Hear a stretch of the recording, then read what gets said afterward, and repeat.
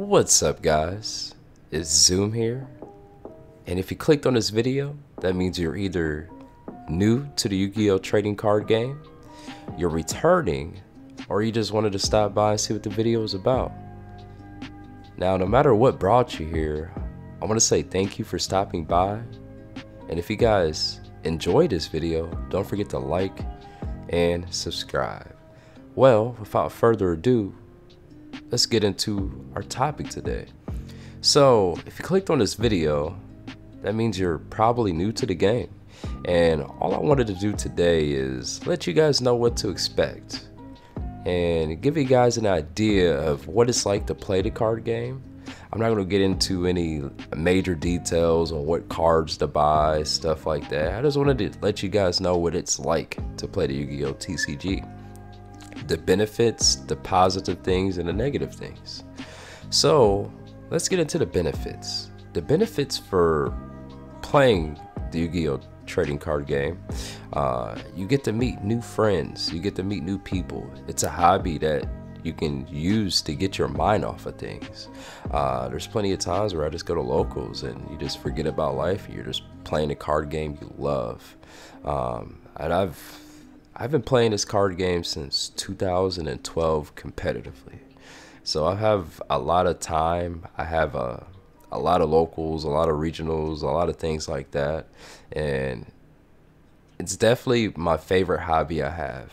Uh, it makes me happy to play the card game. And that is the number one thing that should be on your mind if you continue to stay in the trading card game is making sure that you're happy playing it and that it's something you want to do.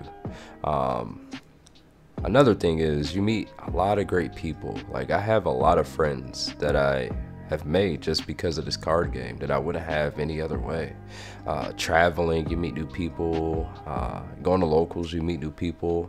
Uh, you actually probably even make a friend group at locals where you guys let each other borrow cards and stuff like that which that's actually very important to be successful in the card game is just having that friend group where you can play test all the time. If you have a card your friend can needs for local or regional you can let them borrow it vice versa. Friend groups are very important uh, and if you're pretty antisocial uh, it would probably hurt you uh, because the most important aspect is having that friend group honestly uh, unless you want to spend a ton of money and you buy every single card that ever comes out, you're, you're probably not gonna have the same amount of fun as people that have friend groups that are always hanging with each other and always travel with each other, stuff like that. Uh, so yeah, that's another great aspect of the game. It's just meeting new people, making friends, and just enjoying life with those people.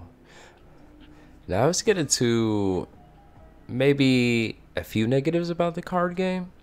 Uh, the biggest negative I would say is probably the paywall. Um, if you want to play at the highest level of the game, if you're a very competitive person and you always want to win, you always want to have the best this, the best that, um, it gets very expensive, which is okay.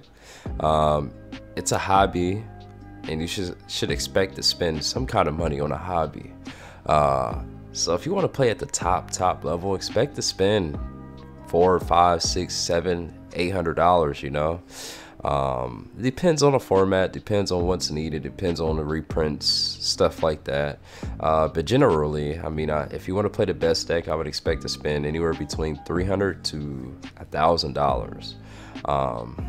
But that's okay because when you first start off, you're gonna buy cards, you're gonna build your collection, you can always trade for new cards that are coming out, cards you need. The longer you're in the game, the less expensive it seems to you because you always have ways to trade for what you need, which is awesome. So longevity is very important. Another negative will be is it's really addicting. Um, it's kind of like crack. Uh, there's a saying that people have. Once you play Yu-Gi-Oh, you'll always come back to it. Um, I've left the game a few times, and I always come back. Uh, it's just one of those things where you can go do other things. I went to play Magic for a while, but you just always come back to Yu Gi Oh! Every single person I have known that has left the game has ended up back. Now, there are people that can leave it for good, uh, which is good for them. Um, I'm happy for them. Uh, I hope they're having a great life. Um, but yeah, it's very addicting. It's like crack. Uh, and if you can deal with that, then you'll be just fine. Um, but let's get into it. One more positive before we end this video. Another positive I would say to me personally would be that the community is actually, no matter what anybody else says, I've been around the block a lot. The majority, now there are some bad eggs, but the majority of the community is great, fantastic. Uh, I've been to, I'd say at least 100 locals. Uh, I've been to a ton of regionals. I've been to ARGs, which if you're new, you don't know what that is. It doesn't even exist anymore. Uh, but most of the people I meet are actually great people. Uh, I met a lot of friends. People are usually very nice. There are bad eggs, but I could say the majority of my experiences are positive compared to the minimum negative. Like my positive experiences I've had at different shops, locals, with players, stuff like that, with interactions, is miles ahead of the negative experiences I had. Uh, so I would say the majority community is great, no matter what you see online, no matter if you're in whatever Facebook group. Uh, that's just Twitter fingers, Facebook fingers. In real life, majority of people are nice. Uh, and I'm, I'm, sure if you find a local car shop, you'll find a ton of players that are willing to help you out and to help you build your deck and to go from there. But that's it for the video, guys. I just wanted to give you guys a little idea what it's like to be new in a card game. And if you like and enjoy this video, please hit the like button and don't forget to subscribe. I will have more content coming out. Uh, my channel basically does deck profiles. I do a lot of duel videos, which you can watch these duel videos to learn what the meta is and to to learn how to counter decks that you're having an issue with. And I do informative videos like this. So, I hope you guys have a great day Peace.